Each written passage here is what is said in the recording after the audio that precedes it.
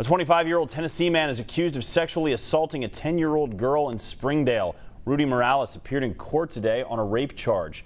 The girl's mother called police to say her daughter told her that a friend of her father had sexually assaulted her. This happened on April 13th. Now, when police arrived, the girl identified Morales, who admitted to the crime.